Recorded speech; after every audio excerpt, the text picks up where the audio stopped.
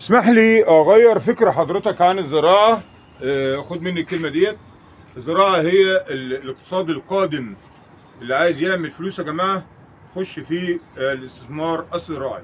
الاستثمار الزراعي. الاستثمار الزراعي إن شاء الله رب العالمين يعمل لك عائد مادي مجزي جدا جدا. موضوع حلقتنا النهارده هوريكم نبات. نبات ممكن يا جماعة يعمل لك نقلة في حياتك. ونبات سعره غالي جدا جدا جدا وتقدر تزرعه على السطح. وأنا هوري لكم أنا زرعه على السطح. ومدي آه، إنتاج رائع. وإن شاء الله حضراتكم تتشجعوا وتزرعوه على الأسطح أو اللي عنده أرض مفتوحة إن شاء الله يزرعه ويحصل منه على عائد ما يقارب من 400 ل 500 ألف جنيه. ما تتخضش من الرقم. والله ادرس خش وابحث وشوف فعلا اللي أنا بقوله ده صح ولا غلط. نبدأ كما تعودنا دائما. رب اشرح لي صدري ويسر لي أمري. واحلل عقده من لساني يفقه قولي إن شاء الله رب العالمين أنا هكلم حضراتكم على نبات عشان ما نطولش. نبات يمكن حضراتكم سمعتوا اسمه قبل كده. سمى الاشواجندا الاشواجندا أو الجنسنج الهندي أو آه، سموها ساعات بيسموه الوطنية وساعات بيسموه الكريز الشتوي. له كذا اسم كده. آه، سموه الوطنية عشان هو آه، منبته كان في الهند. والكلام ده كان من 2500 سنة. استنوا بس أنا هوريكم النبات دلوقتي وهتحضروا معايا وإحنا بناخد البذر بتاعه وإخواتي اللي قالوا. عايزين بذوره؟ إن شاء الله رب العالمين. آه، أنا عندي كلمتي وعندي وعدي اللي وعدته لحبايبي ومتابعيني. إن شاء الله رب العالمين. بذوري البذور بتاع النبات الغالي ده جدا جدا هدية مني لإخواتي المتابعين. وحتى إن شاء الله رب العالمين هعمل منه شتلات. أنا يسعدني يا جماعة إن الناس تاخد خطوات في اكسار هذا النبات وزراعته على الأسطح. فبالتالي إن شاء الله رب العالمين حضرتك أنا اشجعك تشجيع كامل وتام على إن أنت تزرعه وهقدم ليك كل الدعم اللي حضرتك عايزه. أنا بدأت بيه بشجرة واحدة. وان شاء الله رب العالمين مش هنتهي إلا ما يكون عندي قطعة أرض كاملة مزروعة منه. إن شاء الله رب العالمين هتشوفوها مع بعض وإحنا حضراتكم حضرتوا فيديوهات تصوير من الأرض اللي حضراتكم شفتوها في تصوير آه، ال- الدودة القرده بتاعه السباخ وكان في البصل. وحضراتكم هتشوفوا إن شاء الله رب العالمين الأرض دي هتتحول وهتشوفوا زراعة جميلة. تعالوا أوريكم النبات وإزاي هناخد بذوره وتتعرفوا عليه أكتر. طيب أهل الخير كده إحنا هنتكلم على النبات ده بالتفصيل إن شاء الله رب العالمين. وهقول لحضراتكم آه، يعني إن شاء الله. المعلومات اللي حضرتك محتاج تعرفها عنه وتزرعه إمتى وتسمده إزاي والتربة الصالحة لزراعته بشكل كويس. صليت على حبيبي يا سيدي صلى الله عليه وسلم. أنا قاعد جنب الشجرة اللي حضراتكم دي شايفينها. الشجرة دي أصلا من العائلة الباذنجانية. زي ما أنا قلت لحضراتكم في مقدمة الفيديو اتزرعت من حوالي 2500 سنة في الهند وكانوا الهنود أول من استخدمها في علاج أمراض متعددة. يعني كانوا بيعالجوا بيها إيه؟ الناس اللي عندهم توتر عصبي كانوا بياخدوا منها الورق ده عشان أعرفك بس استخدامه إزاي. الورق ده بيغلوه زي الشاي الشاي الكشري كده أو يغلوه الورق وبيتشرب بيدي فعالية كويسة جدا جدا في تهدئة التوتر العصبي لو واحد عنده توتر عصبي. الناس اللي عندهم مشاكل في النوم بيحسن أداء فترات النوم كويس جدا. آه، الناس اللي عندهم مشاكل آه، في الخلفة وفي الحيوانات المنويه اللي عندهم ده آه، فعال جدا جدا في آه، تنشيط الحاله الجنسية للرجال والنساء.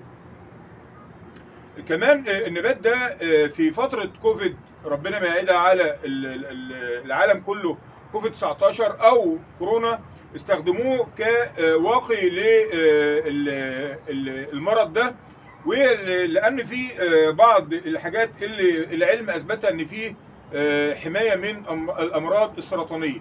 يعني كمان بيستخدم في الوقاية من السرطان.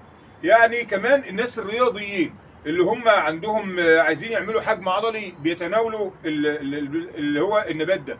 طب أنا هاكله إزاي؟ أنا هوري لحضراتكم البذرة بتاعته دلوقتي آه، واوريكم شكله إزاي وزراعته إزاي. خليكم معايا عشان تعرفوا معلومات عنه. إحنا بنتكلم على الأشواجندا أو الجينسنج الهندي. طبعا الجينسنج الجينسنج الكوري أغلى أنواع الجينسنج طيب بالنسبة للنبات ده حضراتكم أنا باكل منه إيه؟ أنا طبعا النبات ده لما بزرعه حضراتكم بيوصل ل من حوالي سبع شهور لتسع شهور على ما بتظهر ال- الثمرة اللي بتشبه الكريز دي. هقطع لحضراتكم واحدة عشان أوريها لكم عن قرب بي- عشان كده هم بيسموه الكريز الشتوي. أجيبها لحضراتكم واجي لكم أهي. بصوا حضراتكم. اهي دي بيسموها الكريز الشتوي وحضرتك أنا ما بقطعهاش إلا لما تكون باللون الأحمر اللي أنتوا حضرتك شايفينه ده. باللون الأحمر كده تبقى خلاص استوت بتظهر خضراء وبعدين جواها البذور هوري لحضراتكم البذور وهنخزنها مع بعض وعشان ندي لحبايبنا اللي عايزين منها واللي عايزين يزرعوا منها ونعمل اشكال إن شاء الله مع بعض وحضراتكم هتحضروا. المهم نرجع لكلامنا. ال- الثمرة اللي بتشبه الكريز ديت أو بيسموها الوطنية زي ما أنا قلت بتحتوي على مجموعة من البذور هنفتحها قدام حضراتكم دلوقتي وهتشوفوها. الثمرة دي ما تتاكلش. الثمرة دي الهدف منها لو أنا لو أنا كان كأحمد زراعها دلوقتي عايز آخد أقصى استفادة من شجرة جات لي وما عنديش غيرها.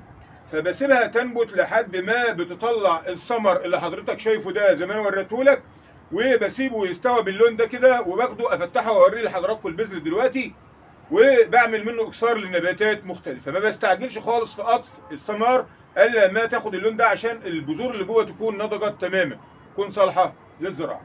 طيب أمال أنا لو عايزه يستمر معايا ممكن يستمر معايا من 3 ل 4 سنين. يعني أحوله لشجره معمرة. ودي آه، لو أنا عايز آخد منه بذور بذور بذور ما عنديش بقى منه كتير فهعمل منه بذور.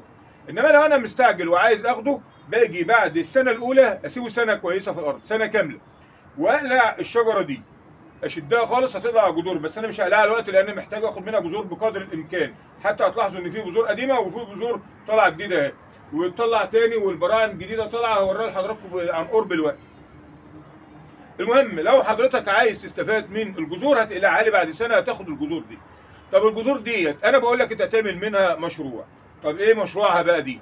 الجذور ده يا جماعة اللي انت حضرتك بتقطعها دي ب- سعرها بيتباع تجاري تجاري ب 400 جنيه وبيغلى عن كده كمان.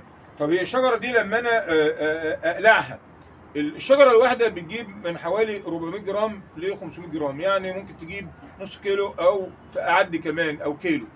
يعني الشجرة الواحدة جذور يعني لأن الجذور دي حضراتكم آه، اما تقلع هوري حضراتكم بس لما توصل لمرحلة آه، بتبقى الجذور بتتنضف وبتتنشف آه، بعيد عن الشمس وتاخد وضعها وبعدين بتباعها لشركات الأدوية. الورق ده زي ما قلت لحضراتكم لو انت حال مزاجك مش حلو ممكن تغليه وتشربه هيعدل مزاجك جدا الحالة المزاجية جدا جدا. ومشهور وحضراتكم ممكن بتسمعوا عن الاشواجندا أو الجينسنج ليه؟ لارتباطه بالتنشيط الجنسي للرجال والنساء. من دي من أشهر ارتباطاته بيه. والرياضيين بيفضلوا ياكلوه عشان يزود عندهم الحجم العضلي زي ما قلت. يبقى لو حضرتك الفدان تقريبا بياخد من الشجر ده ياخد له تقريبا حوالي من 2400 ل 2500 شجره الفدان. فلما نضرب متوسطه كده نضرب مثلا ال- الواحدة هتجيب مثلا الفدان هي إجمالي الإنتاج بتاعه مثلا يجيب له لو أنت ضربتهم في بعض يجيب لك تقريبا حوالي 1200 كيلو ل 1000 يعني حوالي طن وربع. اما تضرب فيه 400 جنيه للكيلو يبقى تقريبا أنت حضرتك هتحصل كده على 480 ألف جنيه من الفدان. ممكن لو ما عندكش فدان بحاله عايز تزرع في منطقة جرب واسمع كلامي. أنا عن نفسي أنا زي ما أنا حضراتكم شفتوا فيديوهات ليا في الأرض اللي أنا واخدها أنا هعمل له إكسار لأن أنا فعلا هاخده كمشروع اقتصادي ليا إن شاء الله رب العالمين. يمكن يعمل مع حضرتك نقلة لو أنت عندك أرض نص فدان قراطين ازرع. والله دي نصيحة عشان برضك أنا عايز حضراتكم تستفادوا بقدر الإمكان. حضرتك بعد ما بتسيب بصوا حضراتكم في عناقيد بقى بتظهر عند حضرتك كده شوفوا كده. أنا بق- بقص العنقود كده زي ما أنت حضرتك شايف. هقرب لكم هنا كده. بصوا يا جماعة العنقود ده كله بذور. يعني أنا بقص الثمر بتاعه أهو. هتلاحظوا حضراتكم بقى وهوريكم كل ده كل ده بذور مكسب ليك. لو أنت زرعه وتاخد أهو أنا بس بفرطه قدام حضراتكم. أوريكم بقى البذر من جوه.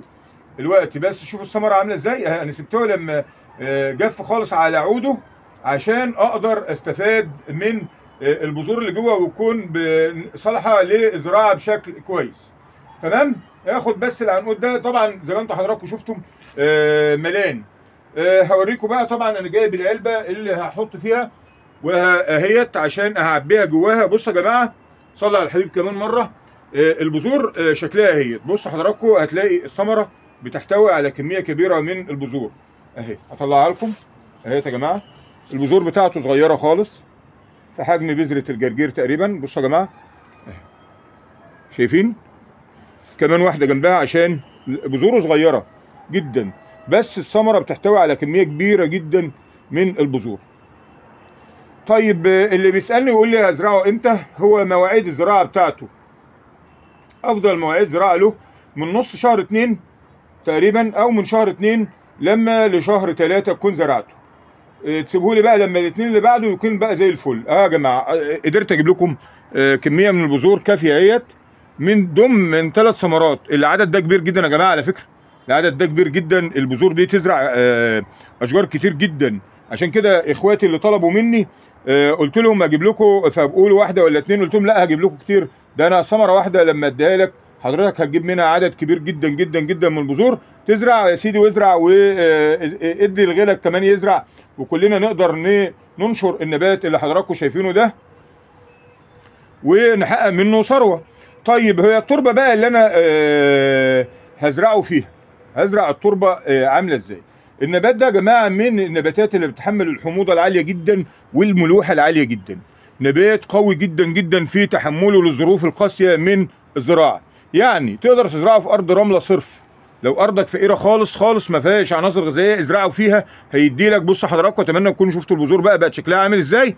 تمام؟ آه، ازرعه في أرض رملية صرف. ازرعه في أرض طينية.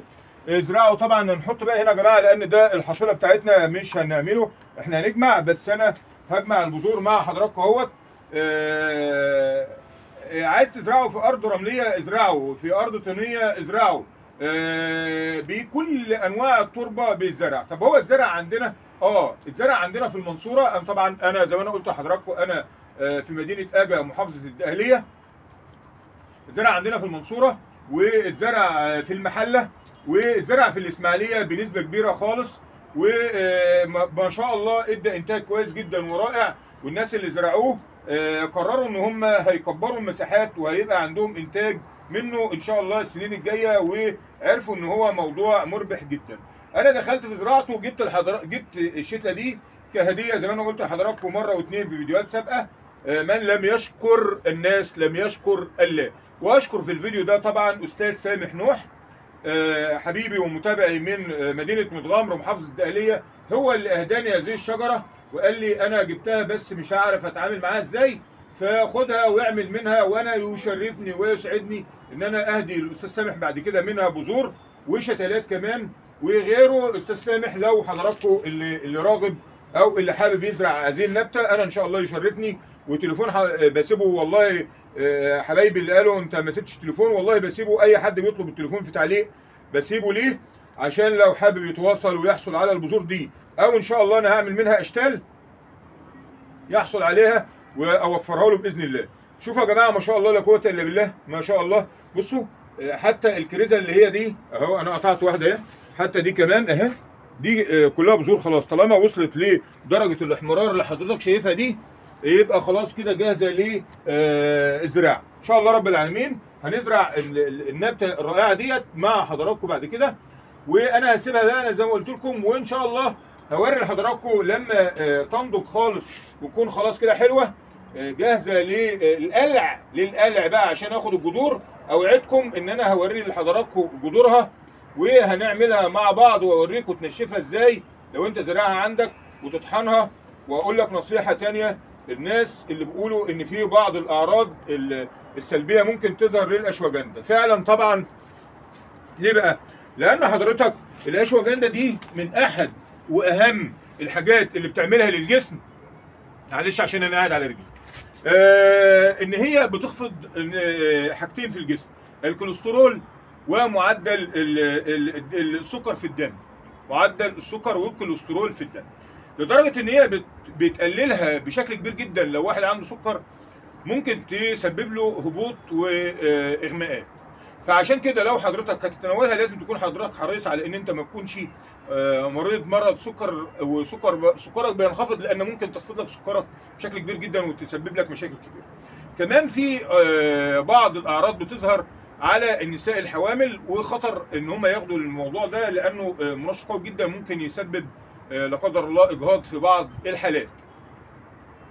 وفي بعض الدراسات بتقول إن ال- الست المرضعة المفروض ما تاخدوش لأن حتى المواد الكيميائية اللي فيه ممكن تتنقل للرضيع وتسبب له أخطار ولو إن هم قالوا في الهند إن هم كانوا بيستخدموه مع الأطفال ليه؟ لتقوية القدرات العقلية لأن قالوا إن ال- الجنسنج ده له مفعول ساحر على القدرات العقلية وتنشيط الذاكرة. أتمنى أن تكون حضراتكم استفدتوا من الموضوع ده استفادة كبيرة وأتمنى أن تكون حضراتكم يعني بحاول أقدم لكم نباتات جديدة على أساس إن أنتوا تدخلوا على سطحكم حاجات أول مرة تشوفوها. إن شاء الله رب العالمين تستفادوا من الفيديوهات اللي بقدمها لحضراتكم تباعا. ونكون ضيوف آه، خفاف على حضراتكم بصفة آه، على طول دورية. ولو حضرتك أول مرة تشوفني أنا أحمد أبو حشيش في قناتي أرضنا على سطحنا. أتمنى وأشرف إن أنت حضرتك تنتمي لنا في قناتنا وتستفيد من المعلومة اللي إحنا بنقولها وبنجتهد فيها. وإن شاء الله رب العالمين ألتقى حضراتكم وأنتم في غاية الصحة. والعافيه في فيديو قادم عما قريب والسلام عليكم ورحمة الله وبركاته.